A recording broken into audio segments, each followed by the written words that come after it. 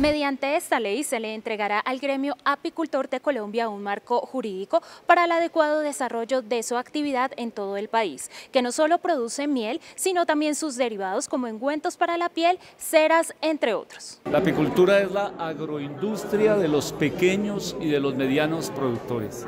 y estimular esa industria para que haya más abejas, se produzca más miel, más polen, es una responsabilidad que asumimos en esta ley entregándole funciones al Ministerio de Agricultura, a Finagro,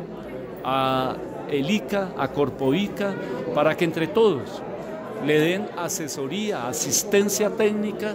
y recursos de líneas de crédito a los apicultores para que amplíen esa actividad y la conviertan en lo que debe ser una fuerte de ingresos de los pequeños agricultores con miras a situarlo en el mercado internacional. Esta actividad permitirá compartir los costos de procesamiento de la miel, contribuir a mejorar la competitividad, márgenes de utilidad, aumentar el inventario de colmenas a una meta escalable de un millón y facilitará las líneas de acción conjuntas para el acceso a tecnologías, además de aumentar las posibilidades de comercialización. Yo creo que hay registradas en el país unas 10.000 familias en la actividad apícola.